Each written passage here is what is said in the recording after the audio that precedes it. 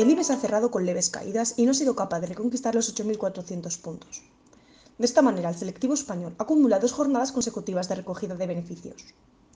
Este martes, todas las miradas han estado puestas en el sector inmobiliario. Coavit ha liderado las alzas en el mercado continuo después de que se haya conocido que ha llegado a un acuerdo para fusionarse con Neynor. Dentro del IBEX han destacado las subidas de Sabadell. Los analistas de JP Morgan consideran que puede ser comprado por Santander tras su fallido intento con BBVA. Al otro lado de la tabla se ha encontrado Siemens Gamesa ha liderado las caídas del IBEX después de presentar un ERE que afectará a cerca de 300 trabajadores. Mientras tanto, al otro lado del Atlántico, los principales índices de Wall Street cotizan con signo mixto. El mercado está muy pendiente del impeachment presentado por los demócratas y las nuevas amenazas de Donald Trump.